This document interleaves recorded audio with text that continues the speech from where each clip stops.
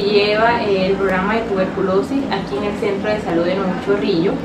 Pues mi cargo es ver a todos los pacientes que están en tratamiento con eh, en la enfermedad de tuberculosis. De igual manera, cada mes se le hace charla a los pacientes y familiares que se acercan al centro para darles más información sobre la tuberculosis y también captar a los sintomáticos respiratorios.